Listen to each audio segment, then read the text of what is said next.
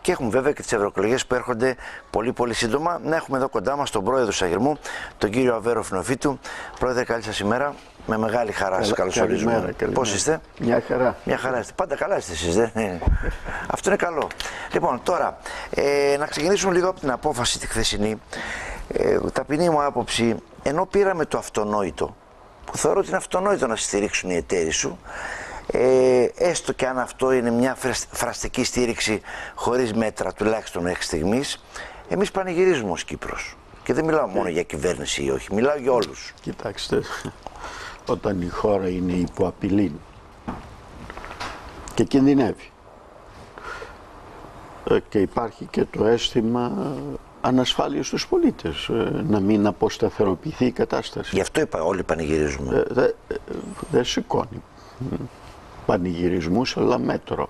Ναι. Ικανοποίηση, εν πάση περιπτώσει. Ε, είναι θετικό ότι η Ευρωπαϊκή Ένωση στέκεται στο πλευρό της Κύπρου. Πρώτον, ε, χθες δεν ήταν επίσημο συμβούλιο, ήταν ένα άτυπο συμβούλιο και δεν ε, παίρνονται αποφάσεις ούτε και δημοσιοποιούνται συμπεράσματα. Όμως ήταν θετικό το ότι προσερχόμενος ο Γιούγκερ λέει είμαι Κύπριος. Όσον αφορά την Κυπριακή ΑΟΣ, μάλιστα. Ε, ο, ο Τούσκ μίλησε εκ μέρους και του συνόλου των Ευρωπαίων ηγετών. Και πρέπει να διερωτηθούμε ε, εάν η Κύπρος δεν ήταν στην Ευρωπαϊκή Ένωση. Καληνύχτα μας. Ε, θα είχαμε τέτοια στήριξη. Από την άλλη, προσγειωμένα και ταπεινά. Ε, να μην αναμένουμε ότι αύριο ο, Σωστό. ο Ιταλικός ή ο Γερμανικός ε, ή ο, ο Γαλλικός στόλος ναι. θα, έρθουν και θα κάνουν πόλεμο για την Κύπρο. Ε, τα εργαλεία που έχουμε είναι πολιτικά.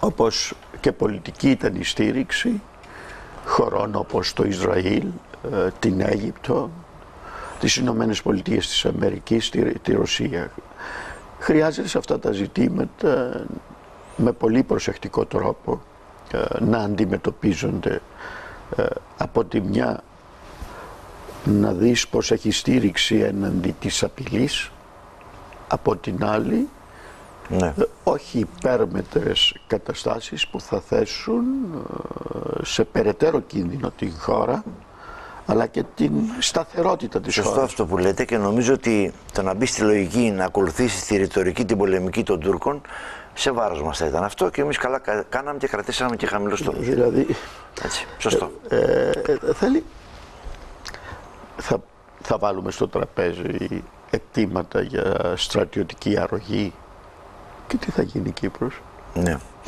Νομίζω ότι οι νούσιμοι άνθρωποι δεν κουβεντιάζουν καν το θέμα αυτό σε μια, για μια στρατιωτική αντιπαράθεση δικιά μας με την Τουρκία. Μα δεν έχουμε, τις, δεν έχουμε τις δυνατότητες. Δεν έχουμε τις Να ρωτήσω κάτι κύριε Πρόεδρε, να πάμε λίγο τώρα στα το ευρωεκλογών. Όμως ε, ναι, σε αυτό το παρακαλώ. ζήτημα, κοιτάξτε, όταν βλέπεις αυτή τη στήριξη της Ευρωπαϊκής Ένωσης που κάποιος, ε, εγώ δηλώνω ικανοποίηση. Ναι. Ε, και δεν είναι μόνο στο επίπεδο κυβερνήσεων αλλά και στο επίπεδο κομμάτων ε, ευρωπαϊκών σχηματισμών και το Ευρωπαϊκό Λαϊκό Κόμμα και, άλλα, και και άλλα κόμματα έχουν εκδώσει ανακοινώσεις στήριξης της Κύπρου. Αυτό που έπρεπε όλοι να κάνουμε και σε κομματικό επίπεδο είναι τις δικές μας πολιτικές ομάδες που στηρίζουν την Κυπριακή Δημοκρατία.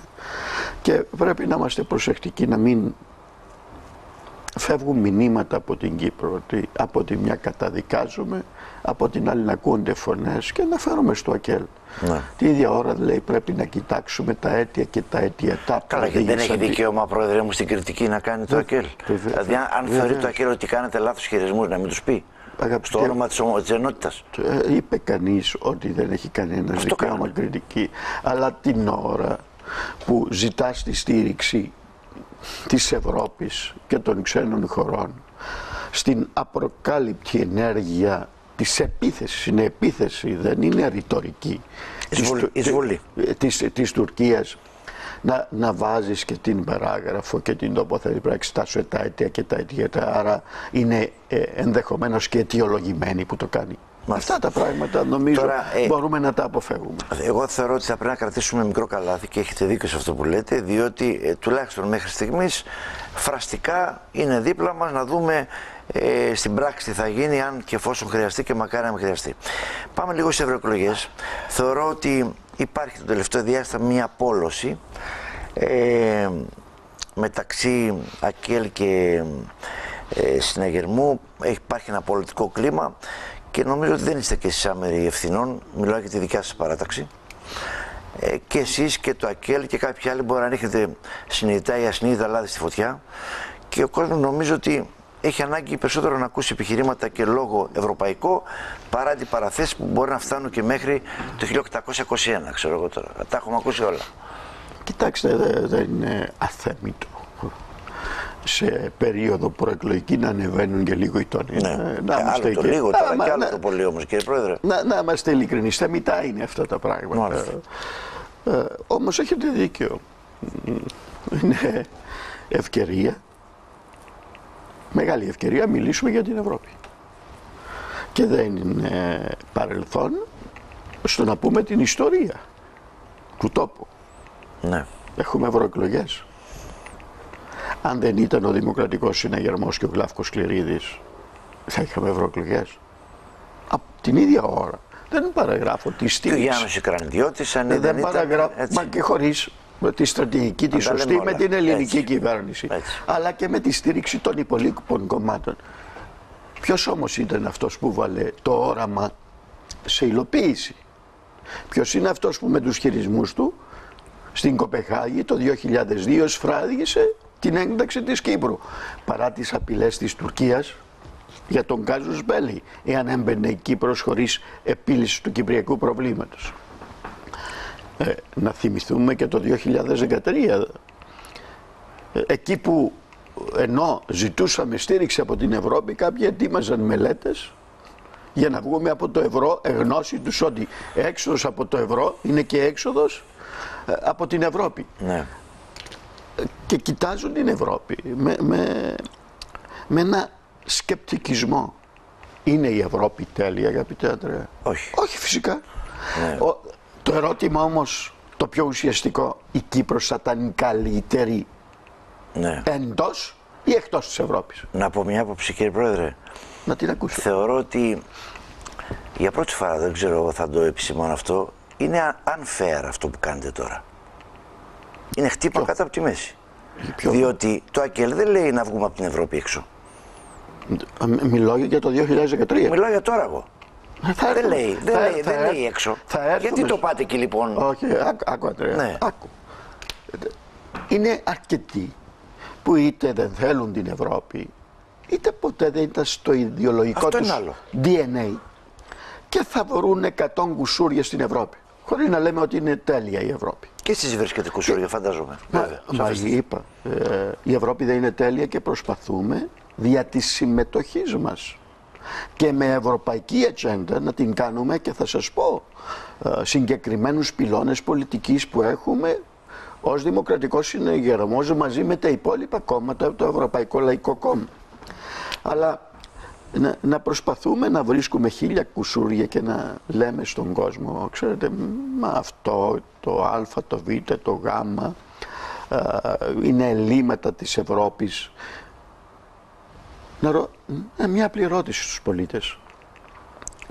Τι πιστεύουν, η Κύπρος θα ήταν καλύτερη εκτός της Ευρωπαϊκής Ένωσης; Θεωρώ. Κανένας δεν θα πει ότι ήταν καλύτερη. Κανένας. Άρα είναι επίτευγμα το ότι είμαστε στην Ευρώπη.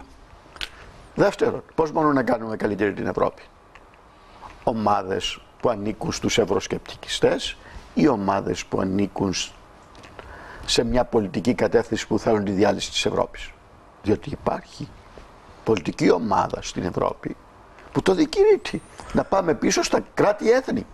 όλα αυτά τα εθνικιστικά κινήματα, ε, μα, να, να, να, να, τα βάλουμε κάτω. Ας, ας μιλήσουμε για την ευρωπαϊκή ατζέντα. Ποιες, ποιες Ποιες είναι οι κύριες πολιτικές; Πρώτον, και πού είναι τα σημερινά προβλήματα και στην Κεντρική Ευρώπη αλλά και στις χώρες του, του Νότου. Η Ευρώπη που στηρίχτηκε στην ενότητα και στην κατάργηση των εσωτερικών συνόρων. Την ίδια ώρα δεν με ρίμνησε να προστατεύσει τα εξωτερικά της σύνορα. Με αποτέλεσμα να δέχεται μεταναστευτικά κύματα που δημιουργούν προβλήματα συνοχής σε ολόκληρη την Ευρώπη. Η Ευρώπη δεν είναι ρατσιστική. Είναι η πιο δημοκρατική ομοσπονδία έτσι. Χρόνο, Μα... τουλάχιστον ένα σύστημα. Μάλιστα. Και όποιος μιλά για Ευρώπη ρατσιστική ε, είναι εκτός τόπου και χρόνου. Την ίδια ώρα όμως χρειάζεσαι και την κοινωνική συνοχή των Ευρωπαίων πολιτών και της ευρωπαϊκής Σωστό. κοινωνίας. Σωστό. Να δώσεις στήριξη στον νόμιμο μετανάστη, αλλά πρέπει να διασφαλίσεις και την Ευρώπη από τους παράτυπους μετανάστες. Άρα πώς το κάνεις αυτό; Με το να ενισχύσεις τα εξωτερικά σου σύνορα. Ναι. Και αυτό δεν είναι ευθύνη της Κύπρου, ναι. της Ελλάδος. Τώρα με πήγατε μέσω πάφου για να μου πείτε ότι το ΑΚΕΛ δεν θέλει να ενισχύσει όχι, όχι, όχι. τα εξωτερικά όχι, σύνορα. Όχι, λέω το πρόγραμμα του Ευρωπαϊκού Λαϊκού Κόμματος. Ναι. Ότι ένα, ένα, ένα από. Δεν θέλει, το ΑΚΕΛ δεν θέλει την Πέσκο, το λέει καθαρά. Όχι, όχι, δεν, δεν είναι για την Πέσκο. Μα σε αυτό που λέω μπορεί να συμφωνεί και το ΑΚΕΛ. Μιλάω για τους κύριους άξονες της πολιτικής μας ως Ευρωπαϊκό Λαϊκό Κόμμα. Ενίσχυση των σύνοριοφυλάκων μέχρι να φτάσει στο αριθμό των 10.000. Και να έχει η Ευρώπη την ευθύνη της φύλαξης των εξωτερικών συνόρων από μεταναστευτικά κύματα. Υπάρχουν θέματα που αφορούν το περιβάλλον. Πρέπει να προστατεύσουμε το περιβάλλον. Γιατί χωρίς την προστασία του δεν μπορεί να διασφαλίσει. Είμαστε όλοι καταδικασμένοι.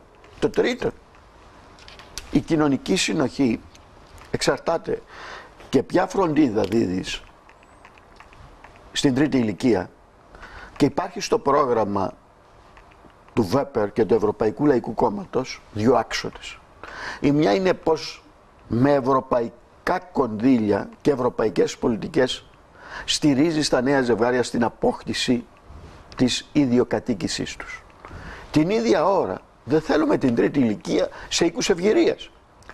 Άρα σημαντική προτεραιότητα είναι τα έξυπνα σπίτια για να μπορούν η τρίτη ηλικία με βάση τις υποδομές που θα υπάρχουν με τη στήριξη της Ευρώπης να μην χρειάζεται σε μη κοινωνικοποιημένα. Εκεί, εκεί πιστεύετε είναι το μεγαλύτερο έλλειμμα της Ευρώπης όσον αφορά τις κοινωνικές πολιτικές; Είναι θα, το, είναι θα, θα, δώστε μου ακόμα δύο λεπτά και θα παρακαλώ, σας εξηγήσω. Ερχόμαστε μετά στη, στη δημιουργία. Στόχος είναι να δημιουργήσει προοπτική στους νέους ανθρώπους. Και στόχος του Ευρωπαϊκού Λαϊκού Κόμματος είναι στην Ευρώπη να δημιουργηθούν επιπρόσθετες 5, 5 εκατομμύρια θέσεις εργασίας. Την ίδια ώρα, επειδή γνωρίζουμε ότι μέχρι το 2030 το 30% των επαγγελμάτων που σήμερα ξέρουμε δεν θα υπάρχουν. Τι θα κάνουμε αυτούς τους ανθρώπους; Να τους οδηγήσουμε στη ανεργία; Η Ευρώπη τι λέει μέσω του Ευρωπαϊκού Λαϊκού Κόμματος; Να έχουμε αυτά τα σχέδια κατάρτισης ναι. που να μπορούν αυτοί που σήμερα έχουν μια εργασία που σε 10-15 χρόνια δεν θα υπάρχει λόγω της εξέλιξης να μπορούν να καταρτιστούν, να διεκδικήσουν θέσεις αυτές που θα προσφέρονται μέσω από την εξέλιξη. Και ο τελευταίος πυλώνας είναι ο, ο πυλώνας της υγείας. Ξέρετε αγαπητέ Ανδρέα, μία στις τρεις οικογένειες έζησε ή θα ζήσει ένα περιστατικό καρκίνο. Καμιά χώρα από μόνη της δεν μπορεί να χτυπήσει τον καρκίνο. Η Ευρώπη μπορεί. Γι' αυτό και ε, είμαστε αποφασισμένοι στο Ευρωπαϊκό Λαϊκό Κόμμα να επενδύσουμε όσα δισεκατομμύρια χρειάζονται. Όσα δισεκατομμύρια χρειάζονται για να βρεθεί το φάρμακο και η θεραπεία αυτής της μάστιγας και αυτού του εφιάλτου. Και όχι μόνο γι' αυτό, για πολλά άλλα πράγματα. Που... το κομμάτι υγείας είναι σημαντικό. Ερχόμαστε τώρα στα κοινωνική θέματα. Πολιτική. Κοινωνική πολιτική είναι η τέλεια κοινωνική πολιτική στην ε, Ευρώπη; Σας λέω όχι. Αλλά με νυφάλιο τρόπο, Ανδρέα, ας συγκρίνουμε. Έχουν όμως χώρες, έχουμε χώρες που έχουν την τέλεια κοινωνική πολιτική. Ακούστε, ακούστε, Μιλώ για την Ευρώπη στο σύνολο. Και συμφωνήσαμε ότι δεν είναι η τέλεια. Βέβαια. Μα δεν θα μπορούσε να είναι τέλεια. Με νυφαλιότητα ας συγκρίνουμε. Με τι θέλω να αλλάξω την κοινωνική πολιτική της Ευρώπης; Με αυτή που επικρατεί στη Λατινική Αμερική; Με αυτή που επικρατεί στις Ηνωμένες Πολιτείες της Αμερικής; Με την κοινωνική πολιτική στην Ασία; Με την κοινωνική πολιτική στην Αφρική; Πέστε μου. Συγκρινόμενη η, η κοινωνική Ευρώπη με όλες τις υπόλοιπες χώρες και υπήρους. Ποια είναι η καλύτερη με διαφορά; Εντάξει, δεν συζητάμε τώρα, Πρόεδρε, τώρα ότι η Ευρώπη έχει αξίες και αρχές και πολιτικές άρα, καλύτερες από τους ε, άλλους. Ε. Ξεκινώ από ένα σημείο. Να σταματήσουμε να μηδενίζουμε. Ναι. Άρα έχουμε ένα καλό κοινωνικό σύστημα το οποίο οφείλουμε να βελτιώσουμε. Πώς θα το βελτιώσουμε; Και είναι εδώ οι διαφορετικές πολιτικές. Ποια είναι η θέση εμάς, το Ευρωπαϊκό Λαϊκό Κόμμα και του Δημοκρατικού Συνεγερμού. Σύντομα για να πάμε και σε καμιά ερώτηση να κάνουμε. Και όλων των φιλελεύθερων ναι. κομμάτων. Μέσα από την ανάπτυξη και την ενίσχυση της ιδιωτικής πρωτοβουλίας να αναπτύσσεται η οικονομία, να δημιουργούνται θέσεις εργασίας, να μέσα από τα κέρδη των ιδιωτικών επιχειρήσεων να έχει έσοδα το κράτος για να κάνει την κοινωνική πολιτική. Και σε ευρωπαϊκό επίπεδο ποια είναι η θέση του Ευρωπαϊκού Λαϊκού Κόμματος. Επειδή στο ευρωπαϊκό οικοδόμημα μέσα από διάφορες κρίσεις κάποιοι υποφέρουν, κάποιοι υποφελούνται. Πρέπει να δημιουργηθεί ένα ταμείο κοινωνικής συνοχής που όταν μια χώρα είτε η ανεργία της πάει πάνω από τον μέσο όρο της Ευρώπης να μπορείς και μέσα από ευρωπαϊκά προγράμματα να έχεις στήριξη. Γι' αυτό και να μιλήσω για το μειονέκτημα και την εντύπωση, γιατί εδώ στην Κύπρο ζήσαμε μια Ευρώπη που ε, είχε μόνο κατέμφθηση και ταμεία και μηχανισμούς πώς να σώζει τράπεζες. Και δημιουργούνται και οι αντιλήψεις ότι η Ευρώπη είναι μόνο ε, στεκόμαστε στα αρνητικά μόνο εμείς. Ναι. Το, έχουμε αυτό. Άρα παράλληλα, γιατί δεν μπορεί να υπάρξει οικονομία χωρίς χρηματοπιστωτικό σύστημα, ναι. την ίδια ώρα δεν μπορεί να υπάρξει ανάπτυξη χωρίς κοινωνική συνοχή. Άρα πρέπει να βάλουμε σε εφαρμογή και ένα κοινωνικό πρόγραμμα με την ομπρέλα της Ευρωπαϊκής Ένωσης όπου να μπορούν και πιο αδύνατες χώρες όταν αντιμετωπίζουν σοβαρές οικονομικές κρίσεις να στηρίζονται από ευρωπαϊκά ταμεία. Λοιπόν, διαβασμένος μου ήρθατε σήμερα, πολύ ενημερωμένος σας Διαβασμένοι ναι. είμαστε αγαπητέ ναι. μου. Αλλά, όλο αυτό το διάστημα και εσείς που, που ε, είστε το κατεξοχήν όπως διακηρύτεται Ευρωπαϊκό Κόμμα και εισαναλωθήκατε σε συζητήσεις εκτός Ευρώπης. Ε, έχεις δίκιο, αλλά αγαπητέ μου, σήμερα ναι. Σήμερα είμαι σε ένα γήπεδο που μου επιτρέπεται. Ναι. Παίζω σε οποιοδήποτε γήπεδο βρεθώ. Πεςτε μου κάτι τώρα. Σήμερα έχει, έχει χορτοτάπητα. Χορτοτάπητα, δεν έχει ξέρω. Αλλά παίζω και στα λόγια. Έτσι, λοιπόν, για πέστε μου τώρα κάτι άλλο τώρα. Ε, οι 80.000 Τουρκοκύπροι συμπατριώτες μας, όπως αποκαλείτε και εσείς και τα άλλα κόμματα, έχουν δικαίωμα ψήφου, έχουν το δικαίωμα του εκλέγει και του εκλέγεστε; Βεβαίως, ε, χαρά. Τι χαρά. Χαρά μας. Ε, τότε γιατί το βγάλετε πράκτορα τον άλλον Ποιο να βγάλε; Ένα λεπτό. Και, ζητάει, και σας ζητάει, και ζητάει από εσά να του πείτε και συγγνώμη. Ακούστε, ακούστε. Να, να ξεκαθαρίσουμε κάποια πράγματα και χαίρομαι που μπήκαμε στις ερωτήσεις και μου βγάλες και το σημείωμα μέσω μην ξεχάσεις τίποτα. Πάμε, ναι. Ε, δεν μπορεί να υπάρξει ε, ε, επανένωση της πατρίδας χωρίς και την συνεννόηση των Τουρκοκυπρίων, εγνώσιμος όμως ότι το κλειδί στα σημαντικά ζητήματα είναι. Κρατάει η Τουρκία. Είναι. Μάλιστα. Καλοδεχούμενοι και υποψηφιότητες. Και οι υποψηφιότητες είναι 7 και όχι μία των Τουρκοκυπρίων. Το Ιασεμί και ο Κίζιλ Γκουρεκ. Και Μάλιστα. καλοδεχούμενη και η συμμετοχή των Τουρκοκυπρίων. Και στέλνει και ένα μήνυμα. Ότι ο λαός μας είναι ένας. Ναι. Κάτι που ως τουρκοκυπριακό ψευδοκράτος επιμένουν ότι υπάρχουν δυο λαοί. Ναι.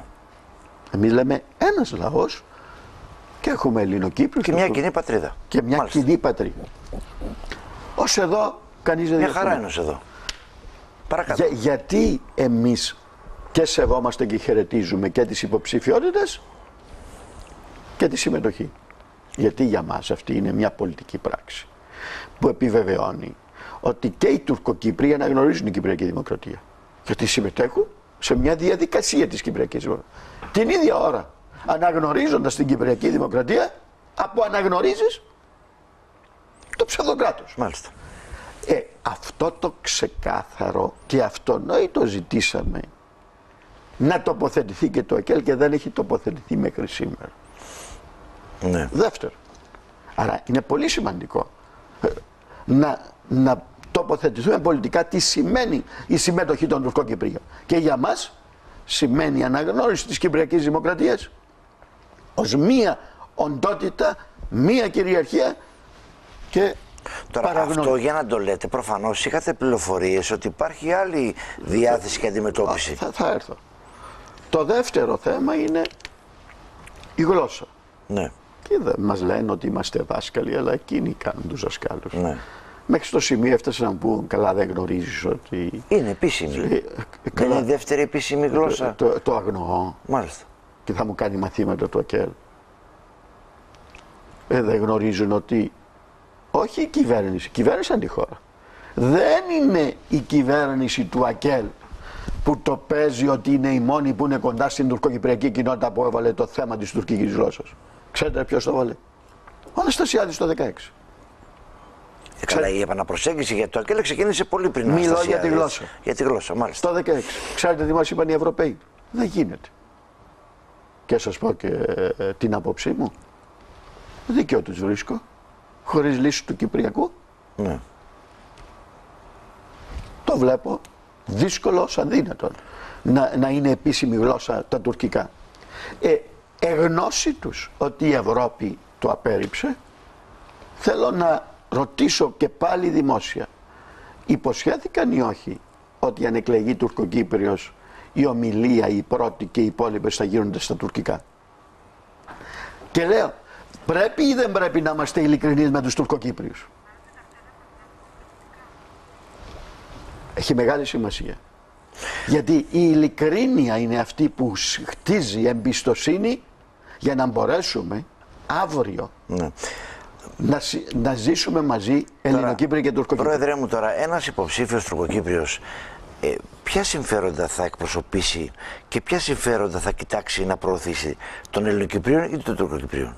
Της Κυπριακής Δημοκρατίας. Ωραία, ναι, εντάξει, τώρα αυτό. Της Κυπριακής μην- Μην Δημοκρατίας. παίζουμε τις λέξεις τώρα. Προφανώς εκλέγεται γιατί έχουν και από εκεί προβλήματα, δεν μας εμπιστεύονται εμάς.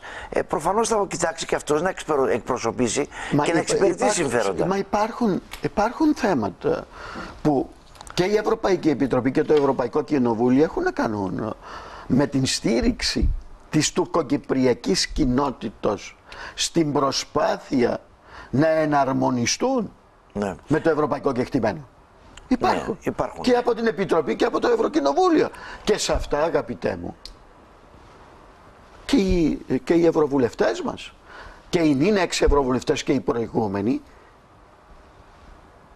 τουλάχιστον μιλώ για τον Λευτέρη Χριστοφόρου δεν ήταν ενάντια σε κονδύλια για την στήριξη, για τον εξυγχρονισμό γιατί θέλουμε την ώρα που θα έρθει η ευλογημένη ώρα Αν έρθει. αν έρθει να είναι προετοιμασμένοι να ενσωματωθούν μαζί μας στην Με Ευρωπαϊκή το Ένωση. συγκεκριμένο, ε, επι- επιμένω, με το συγκεκριμένο υποψήφιο έχετε πρόβλημα; Κανένα. Γιατί θεωρώ Κανένα. λίγο και αδόκιμο. Τον είχατε Κανένα. συνεργάτη, Κανένα. σύμβουλος του Προέδρου. Α- ακούστε, ακούσατε από μένα ή το συναγερμό. Ε, γιατί ζητάει συγγνώμη από εσάς τότε; Δεν ζητάει από μένα. Υπήρξε μια άστοχη τοποθέτηση ενός στελέχους την οποία διευκρίνησα ως δημοκρατικός συναγερμός με απόλυτο τρόπο. Και θα το ξαναπώ, κάποιοι έχουν προβλήματα με υποψηφίους τουρκοκύπριους. Ναι. Αυτός δεν είναι ο συναγερμός. Αναφέρεστε στο Γιασιμί που έχει κάνει ανοιχτή επίθεση και στο ΑΚΕΛ και στον Μα, Κεζίγλου. μα, μα κοιτάξτε, ε, το ΑΚΕΛ να κάνει επίθεση στο συναγερμό γιατί υπόβαλε ερωτήματα, όχι στον υποψήφιο του. Στο ΑΚΕΛ υποβάλαμε τα ε, ερωτήματα. Και έρχεται το ΑΚΕΛ με τοπική σύγκρουση με το Γιασεμί και το Σενέρ Λαβέν και να αφήνουν υπονόμα ποιον εξυπηρετεί η υποψηφιότητά του. Ποιο εξυπηρετεί η υποψηφιότητά του; Τι είναι αυτό η- η συνωμοσιολογία; Αλλά με αυτό δεν ασχολούμαστε. Να, από τη μια είμαστε και σεβόμαστε τους Τουρκοκύπρους, από την άλλη τους βαράμε και αφήνουμε υπονοούμενο όπως είπε και ο κύριος Στεφάνου, ποιον εξυπηρετεί. Θα μας πούν ότι Ναι. ο συναγερμός έβαλε το ΣΕΝΕΡ να κατεβεί υποψήφιος. Αυτό έμεινε να μας Το πει. ΑΚΕΛ απάντησε ότι γιατί ασχολείται ο Σενέρ και το Γιασεμί μόνο με τον Γκυζίγλουρε και το ΑΚΕΛ. Και κανένα άλλο υποψήφιο. αυτό είπε ο- το ΑΚΕΛ, αυτό διερωτήθηκε. Δεν ξέρω. Και, και έκαναν επίθεση στον ΣΕΝΕΡ Ναι. αφήνοντας το υπονοώ πιο εξυπηρετεί, άρα πιο πράκτορας είναι. Ναι. Ε, ε, Πάντως ο, ο, ο Νιαζί, όπως έχουν έρθει τα πράγματα τώρα, με όλη αυτή η διαφήμιση που του έχετε κάνει εσείς, μπορεί να βγει κιόλας, δεν ξέρετε καμιά φορά. Ενώ ήταν outside. Ε, Δεν- δεν- δεν έχουμε κανένα πρόβλημα. Ποιες- Και, ναι. και δεν είναι... Οι πληροφορίες οι δικέ ποιες είναι ότι θα συμμετέχουν οι τουρκοκύπριοι στις εκλογές; Καλοδεχούμενοι, δεν ξέρω. Ναι, εντάξει, επειδή λέμε 80.000 υποψήφοι, ε, τι ποστό θα έρθει να πάει Δε- δε- ψήφιση. δε- δε- δεν ξέρω, εμείς δεν κάναμε καμπάνια στο κατεχόμενο, οπότε δεν... Δεν κάνετε καθόλου καμπάνια, καμπάνια από εκεί; Γιατί, Όχι, γιατί όχι. δεν κάνετε. Και με ρώτησε χθες ένας συνάδελφός σου κατά πόσον ως δημοκρατικός συναγερμός Ναι. θα σκεφτόμουν ε, να είχα τουρκοκύπρο υποψήφιο. Και απάντησα. Όχι, δεν το σκεφτόμουν.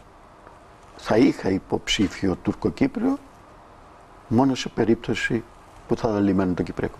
Μάλιστα. Καθαρή θέση αυτή, όσο και να διαφωνεί κάποιος. Μπορεί να διαφωνά Αλλά γιατί δεν όλος κάνατε. ο Ντουνιάς. Δύο λεπτά. Αφού λέμε λοιπόν ότι θέλουμε μια ενωμένη πατρίδα και ότι όλοι είναι ίδιοι και με βάση το Σύνταγμα, γιατί δεν πήγατε από εκεί να κάνετε προεκλογική; Από εκεί πηγαίνετε να δείτε τους ηγέτες της κατοχής. Γιατί ξέρουν, ξέρουν τις θέσεις μας. Και με πολύ κρυστάλλινο τρόπο. Ναι. Ξέρουν τις θέσεις του συναγερμού. Μάλιστα. Κάτι τελευταίο θέλω, γιατί ξέρω ότι έχετε και υποχρεώσεις πρέπει να φύγετε. Ε, η παρέτηση Ιωνά, η πάυση αρχηγού για ένα πολύ σοβαρό ζήτημα, πρωτόγνωρα πράγματα για τα κυπριακά δεδομένα. Τώρα, σε κατασύριο δολοφόνους, μόνο στα έργα τα βλέπαμε. Ε, θεωρείτε ότι επειδή κατηγορηθήκατε γι' αυτό, είχατε βρεθεί και στο Προεδρικό πριν την, τον κύριο Ιωνά, ε, έγινε γιατί υπήρχε κίνδυνος ζημιάς στο κόμμα εν ώψη ευρωεκλογών ή γιατί όντως με την πολιτική ευθυξία που μπορεί να διακρίνει τον οποιονδήποτε είχαμε την παρέτηση του Υπουργού. Να, να εκλάβω ότι το ΑΚΕΛ και η αντιπολίτευση που ζητούσαν την παρέτηση του Ιωνά από την πρώτη μέρα Ναι, σκέφτηκαν τις επιπτώσεις στο συναγερμό και ήθελαν να μας κάνουν χατήρι. ναι.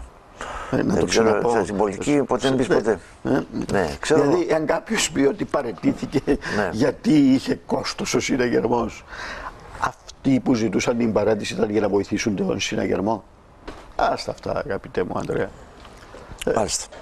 Και, Κα- και ναι. επιτρέψτε μου Ναι. εδώ. ε, Μαύρησε η καρδιά όλης της κοινωνίας με αυτό το είδε χθες έγκλημα και δεν έχει να κάνει ε, τι κόμμα ή ποια ιδεολογία πιστεύουμε. Ε, Μην δεν βάλουμε είναι και εδώ σε- τα κόμματα τώρα στο Ε, φωνιά, ε, το προς τρελαθούμε Θεού, προς- τελείως δηλαδή. προ- προς Θεού, προς Θεού. Έγινε από κάποιους στην αρχή, ε, δηλαδή φοβερά Μα, πράγματα. ε, ε, αν, αν επίτρεψε. Μην τρελαθούμε τελείως Αν- τώρα. μα, εδώ, εδώ θέλω να καταλήξω ότι ένα είδε χθες έγκλημα, πρωτόγνωρο για τον τόπο μας. Ε, κάποιοι πήγαν να το υποφεληθούν και κομματικά. Δυστυχώς. Με δυο κατευθύνσεις. Κακή πληροφόρηση υπήρχε. Όχι, όχι, όχι, όχι, εδώ δεν είναι αυτά που εννοείτε εσείς. Ακούστε. Πήγαν πάνω στο συνέστημα της κοινωνίας να κερδίσουν κομματικούς πόντους και αναφέρομαι στην αριστερά. Δεύτερον, υπήρξαν τοποθετήσεις εκ μέρους της αριστεράς. Ότι πρέπει να προβληματιστούμε. Αφήνω να νοηθεί ότι λόγω του εθνικού ναρκισισμού μας έχουμε αυτά τα δεδομένα. Ο λόγος μας δεν είναι ρατσιστές. Ναι. Και δεν μπορεί να Και εγώ συνδέσει. έτσι πιστεύω ότι δεν, δεν είμαστε ρατσιστές. Δεν μπορεί να συνδέσει αυτό. Ε, Ούτε είναι ρατσιστικό το έγκλημα αυτό τώρα, Μα δεν είναι έχει- σωστό να συνδέσει τη συμπεριφορά ενό. Ήταν η πρώτη εκτιμήση αυτή, Πρόεδρε. ενός κατά συρροή δολοφόνου. Με, με, με, με, Λάθος. Καθόλου. Είναι α, τελείως αδόκιμο. Λάθος. με, μετά, μετά να ζητάς την παρέτηση προσέξτε, του, του Υπουργού και, Ναι. Καλά την, κάνανε και τη ζητήσανε. και την πάυση του αρχηγού. Καλά κάνανε και τη ζητήσανε. Και όταν ο Υπουργός παρετείται, άρχισε με καθυστέρηση να παρετήθει. Ναι. Πάβεται ο αρχηγός, μα υπήρξε συνεννόηση. Το άκουσα και χθε από το ΑΚΕΛ. Μα μήπω υπήρξε συνεννόηση να παυθεί αντί να παρετηθεί. Αυτά Ε, είναι τερτύπια διαφορετικά. ε, ότι, ε, ότι έπρεπε να παραιτηθεί ο υπουργό και ο αρχηγό Είναι εκ των ουκάνευ, είναι δεδομένο αυτό. Έδειξε την ευθυξία του Υπουργό, παρατήθηκε. Κάτι τελευταίο, πέστε μου, ε, μια πρόβλεψη μπορούμε να κάνουμε. Δύο έδρε στο συναγερμό με τίποτα στα αυξημένα, κοντά στο. Ο, ο συναγερμό θα κινηθεί. Ε, πιστεύουμε, ε, αυτός είναι ο στόχος μας, ε, στα, ε, στα ποσοστά που κινηθήκαμε στις τελευταίες βουλευτικές Δύο έδρε εκλογές. στο ΑΚΕΛ, μία ο- το Δίκο, η έκτη έδρα που πάει. Ε, ε, Δεν θα κάνω τον εκλογολόγο τον, Ε, τον, κυ- τον κυκλοφορείτε μέσα στον κόσμο, ξέρετε τις προθέσεις Δεν και τα δεν- λοιπά. δεν- έτσι. δεν- δεν μας αφορούν αυτά, Μάλιστα. αγαπητέ μου.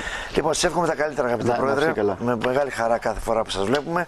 Λοιπόν, εμείς θα πάμε, φίλες και φίλοι, να δούμε ένα ρεπορτάζ για τον Πορθητή και επιστρέφουμε με δύο βουλευτές να δούμε έτσι